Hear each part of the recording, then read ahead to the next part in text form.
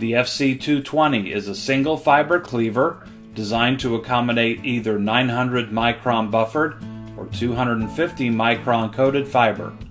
The FC220 cleaver's quick and easy three step operation is well suited for mechanical splice and terminate connector applications virtually anywhere.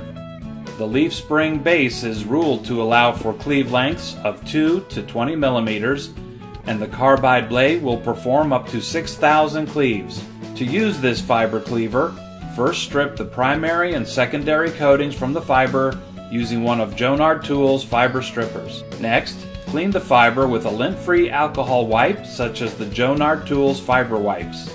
Press the fiber holder lever down to open the fiber holder and insert the fiber into the holder.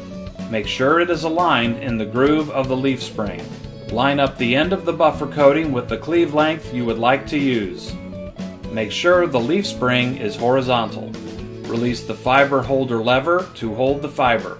Hold the buffered fiber against the leaf spring and gently press the fiber holding lever once more to relieve torsional stress. Next, score the cable by lightly pressing down on the head of the FC220 to nick the fiber. The blade must be used gently in order to provide a good clean cleave. Release the head, making sure to only score the fiber once. Now carefully bend the leaf spring while continuing to hold the fiber. Bend the leaf spring just enough to separate the fiber. Remove your cleaved fiber from the tool. Press the fiber holder lever to open the fiber holder.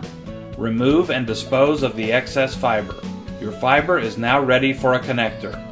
For replacement parts, order the FC4 replacement blade and the FC65 replacement leaf spring.